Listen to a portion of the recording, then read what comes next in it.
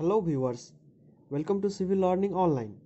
And today in this video I will be discussing about Cramer's rule. And guys I'm quite sure that you are going to love this video. And let me tell you one thing that the Cramer's rule is very simplest method of solving the system of equations. And here the question is solve the following system of equations and find the value of x y and z using Cramer's rule. And here the system of equations are x plus y plus z equals to 8, x minus y plus 2z equals to 6, 3x plus 5y minus 7z equals to 14. So guys, without any further delay, let's get the solution of this system of equation.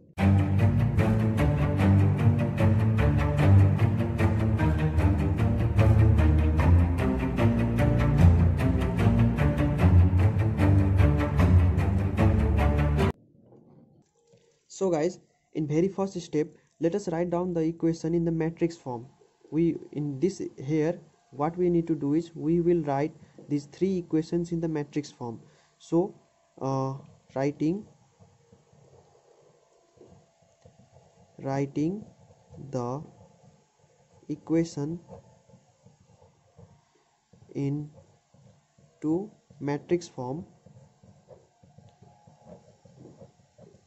we can write it as here the coefficient of x is 1 coefficient of y is 1 coefficient of z is 1 similarly here the, in second equation the coefficient of x is 1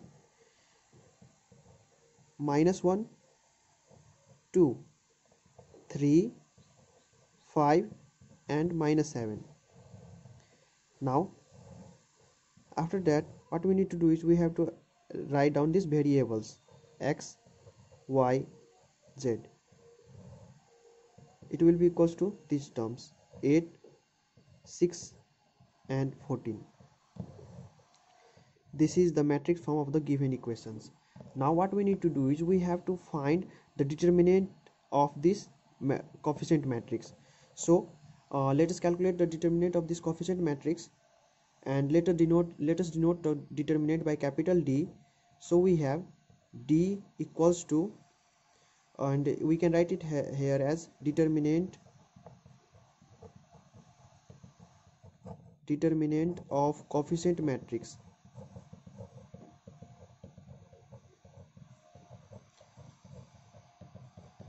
Is so d equals to let us uh, consider this first column. So what we will have here 1 times now if we have considered this column so and we have selected this one we have selected this one so cover this and this. Now the remaining item members are minus 1 5 2 and minus 7 what i said minus 1 5 2 minus 7 now if we remember the sign convention for the matrix terms what we will have here this is positive negative positive negative positive negative and positive negative positive. So our second term is negative so it will be minus 1 times. Now we have selected this one so cover this and this then remaining item will be taken. So 1 3 2 minus 7 1 3 2 minus 7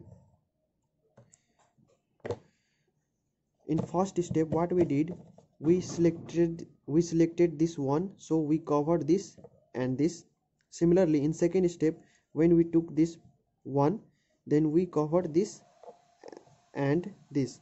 And the remaining items are written here. Similarly uh, if we take this positive one then it will be positive one because i told you the sign convention positive negative positive. So this will be positive 1 and 1 3 minus 1 5 1 3 minus 1 5 now guys what we need to do is we take downwards positive and upward negative. So we need to multiply this uh, inside term uh, inside term with this outer one. So this one is as it is. And now multiply this. 7 times 1 will be 7 and minus time minus will be positive. And 7 times 7 will be 7 again 5 times 2 will be 10 and Uh, what I said downward positive upward negative. So minus this is a going moving upward. So this will be minus 10 minus 1 times downward positive. So 1 times minus 7 will be minus 7 again if when we are moving upward so 3 times 2 will be minus 6 plus 1 times 5 times 1 will be 5 and minus uh, 3 times minus will be minus 3 but we are moving upward so minus 3 times minus so it will be positive 3 what I said upward uh, upward we need to take negative. So here 3 times minus 1 is minus 3 and again minus 3 is multiplied with negative sign because it is moving upward so it will be positive 3 now solve this. We will get the final value of d.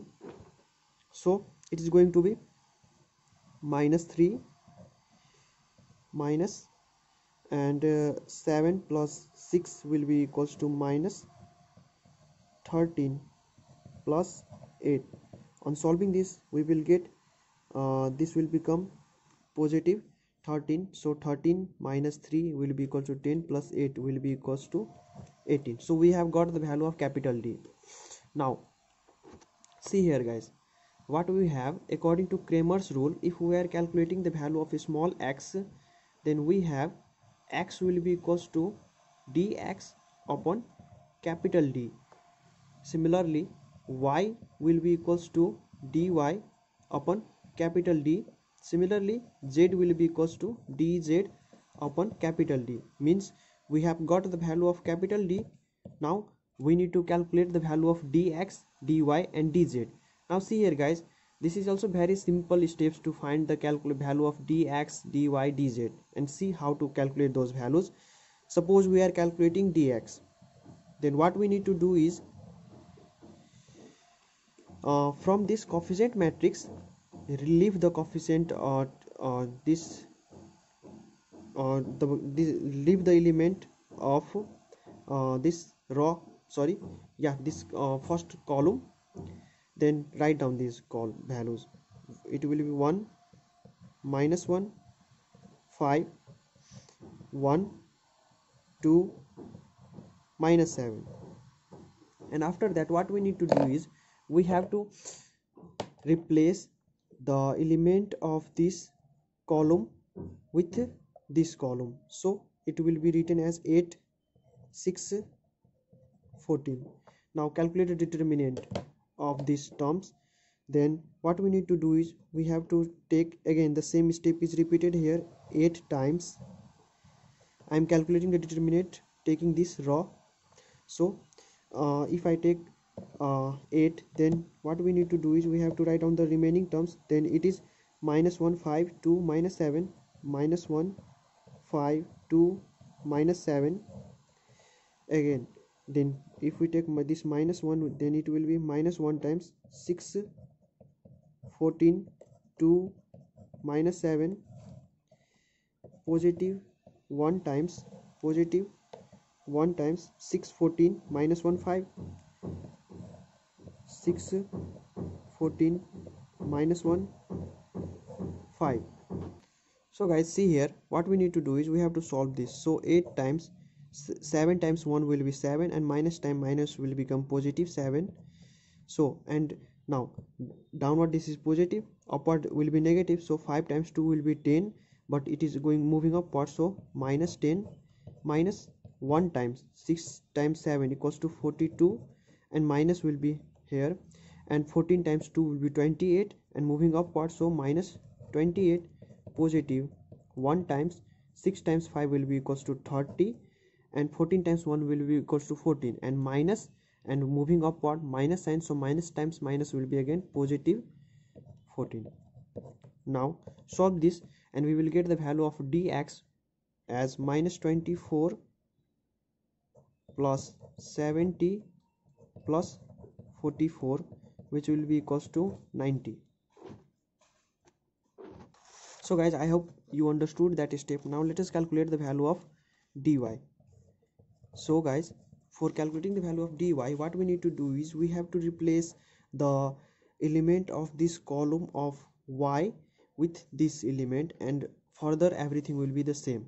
What we did in d while, while calculating dx we replaced this with this members and while calculating dy we will replace this with this member again. While calculating dz we will replace this with this. So calculate let's calculate dy. And uh, what we need to do is see here 1 1 3 as it is and element of this column will be replaced. So 8 6 14 and again further it will be same. So 1 2 minus 7 now calculate the determinant determinant taking the the element or considering the element of the first row so it will be 1 times 1 times cover this 6 14 2 7 minus 7 so 6 14 2 minus 7 and minus 8 times minus 8 times. It will be cover this and this. So 1 3 2 minus 7 1 3 2 minus 7 plus 1 times it will be 1 3 6 14 now solve this. 6 times 7 will be equals to 42 and minus sign will be here plus minus minus and 14 times 2 will be 28 and upward so negative minus 8 times. 7 times 1 will be equals to 7 and minus will be here. 3 times 2 will be equals to 6 and moving upward negative sign plus 1 times 14 minus 18 now put down the value here. So 40 solve this. We will have here minus 70 plus 104 and minus 4 will be equals to 30 similarly calculate the value of dz now we will replace the element of z. So uh, sorry element of the column of z items. So uh, here it is. We need to copy this up to here. 1 minus 1 5 1 minus 1 5 and replace the element of z with 8 6 14 so write it here. 8 sorry 6 14 now find find the determinant with this taking the first row. So it will again be 1 times cover this and this. So it will be minus 1 5 6 14 minus 1 times it will be 1 3 6 14 3 6 14 plus 8 times 1 3 minus 1 5 so on solving this we will have here minus let me show you minus 14 plus 30 minus 1 times 14 minus 18 plus 8 times 5 plus 3 minus times 3 and minus with minus and again it is multiplied with minus sign due to the upward moment. So sign is changed here. So on solving this we will get minus 44 plus 4 plus 64 finally 24 now we need to calculate the value of x. So what i said x equals to d x upon capital d and we have got the value of capital dx which is equals to 90 so 90 divided by 90 divided by capital d. And the value of capital D is 18 so 90 divided by 18 which will be equals to 5 similarly y equals to dy by capital D which will be equals to 30 by 18 which will be equals to 5 by 3 similarly z equals to dz by capital D. So 24 by 18 will be equals to 4 by 3 now you can check whether your the answer we have calculated is correct or not. For that what we need to do is we have to put the value of x y z in the given equation. Let it be represented by small x small y and small z. So our first equation is x plus y plus z equals to 8 if we this is just check. Put the value of x is 5 plus y is 5 by 3 plus z is 4 by 3 equals to 8 means we need to get the eh, it, it must be equals to 8 then only our answer is correct. Then 5 plus 9 by 3 which will be equals to 5 plus 3 equals to 8 which mean which is correct. So guys i have shown you each and every step to find the solution as well as checking the answer. I hope you enjoyed the today's lecture. And for more videos uh, stay connected with civil learning online to subscribe this channel. And if you are new here and you like this concept then to subscribe this channel and do share with your friend. And do not forget to like and press the bell icon. Thank you. Have a nice day